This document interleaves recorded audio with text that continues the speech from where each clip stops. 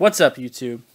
So, in this video, I'm going to be talking about the Game of Thrones series finale. Uh, I'm not going to lie, I am slightly disappointed in how this ended. Um, by the way, spoilers are going to be pretty frequent here, as usual. So, if, if you haven't seen it yet and you care about spoilers, click off the video. Um, but, um, yeah, it, it, was a little bit disappointing. I, I still liked it, but as I've talked about in the uh, with the other episodes, I just wish this final season had at least two more episodes, just so they could have stretched some of these plot lines out a little bit more. I feel like we didn't. I feel like one more episode building up to Jon killing Daenerys would have been better. Like, I don't know. It just felt too easy. Like, it was a decent scene. You know, Jon walked up and uh, he ended up kissing Daenerys, and while they were kissing, he shoved a dagger in her heart. That was uh, that was interesting, but I don't know.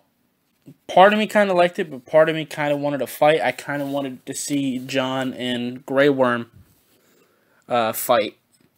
I thought that that was going to happen for sure, and it, it didn't. So, I mean, I guess that's whatever. I just was hoping to see that. Um, but after Jon killed Daenerys, Drogon flew in because uh,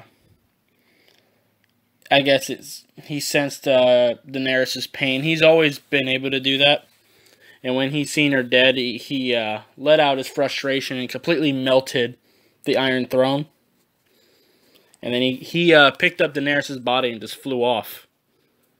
Um, not really sure where he took her body. All I know is he flew away. I think uh, they said that he was headed east. Um, I'm not too sure where he's going. I don't know if he's going back to Essos, if he's going further than that. I don't know. Um, but yeah, Daenerys is dead. I mean, that was pretty predictable.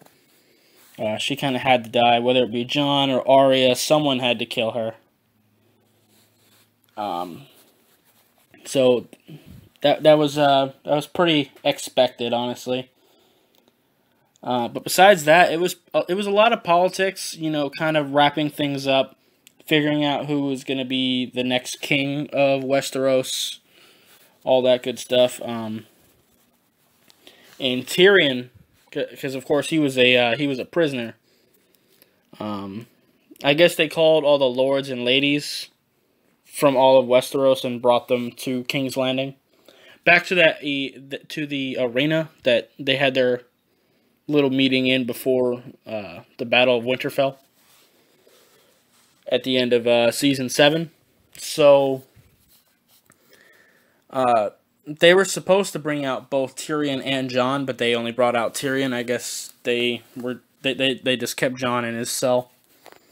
But Tyrion gave a pretty good speech, you know, uh, electing Bran as uh, the new king of Westeros, which a lot of people predicted. I, I didn't want to believe it. I'm still not totally in love with the idea of him being king. I mean, I do think he will be an okay king. I just, I'm just kind of indifferent about Bran. Um, I feel like a lot of his plot lines were kind of boring. At least me personally. Um, I don't know. I, I'm just not a big fan of him. Like, Cersei, like, I hated Cersei, but at least they had an opinion of her one way or the other. Bran, I'm kind of indifferent about. I don't, I don't hate him, love him, just kind of indifferent. But whatever. He's king now. Um, he elected his his uh he elected Tyrion as hand of the king, and I guess Tyrion elected the uh the other people that are on the small council right now. Um, I'm trying to remember. I only seen the episode once, so I'm I'm going off memory. He elected Bronn as uh, Master of Coin. I thought he'd be Master of War, but I guess not. He elected Davos as uh, master of ships, which makes sense. Um, let's see. Oh, Sam was uh, the maester. I'm forgetting somebody. Um, but yeah, I, would have to see it again. Uh, I, I think there was one more council member, but right now it's not coming to me. Um, I have no idea. Uh, but yeah, Arya decided to uh, do as she said in what was it season six, season seven? I think it was end of season six, maybe early season seven when she said, um, "What's west of Westeros?" Yeah. Um, she decided to take up on that, and she ended up uh, sailing west to see what um what lies west of Westeros. Uh, there are apparently, I think, five spin-offs planned. One is a prequel, which is supposed to be set, I think, couple thousand years. Maybe it's just a thousand, I don't know. But a couple thousand years before um, the events of Game of Thrones. But, um, yeah, I'm, I'm hoping that one of those spin-offs is Arya and her, and her adventures wherever she's going. Uh, I don't know, though uh, Jon was sent back to um, the Night's Watch. Uh, I guess Bran knew that he had to keep the peace, so he sent him away. Which, I mean, it's understandable. I, I mean, it's better than him being dead, I suppose. But uh, when he got there, of course, Tormund and Ghost were waiting on him. We're waiting for him, and all the rest of the wildlings.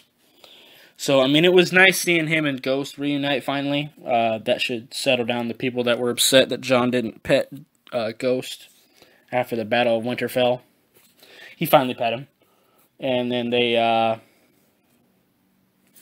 they went beyond the wall. I don't know if he's going to go live out there. I, I, I, don't know what Jon's planning to do. And uh, Sansa kept her promise. She, um, even after Bran became king, she uh, she asked to keep the North independent, so she is now, I suppose, Queen of the North. I suppose. Um, what else? I was just thinking of something. Oh, uh, when Tyrion was giving his speech to elect uh, Bran, he also mentioned that um, it was actually a blessing that Bran cannot father children because the new idea is you won't be born into royalty anymore. You'll have to be, um, I guess, chosen by the lords and ladies of Westeros, which is a much better approach, for sure. Um,